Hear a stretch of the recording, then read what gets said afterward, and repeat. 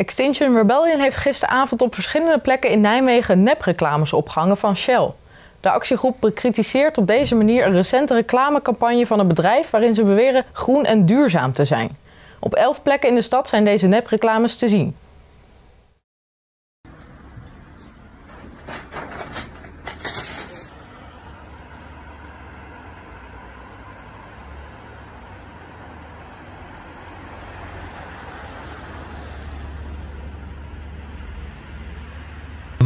Um, nou, het is een, het een, landelijke actie. Dus uh, gisteravond zijn uh, op uh, heel veel plaatsen in Nederland zijn heel veel posters vervangen door deze poster. Omdat Shell zich de afgelopen tijd in een campagne van een groen imago heeft proberen te voorzien.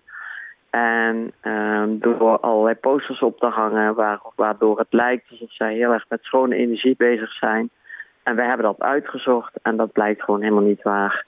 Shell besteedt eigenlijk jaarlijks meer aan reclame voor de zogenaamde schone energie dan aan de echte schone energie zelf.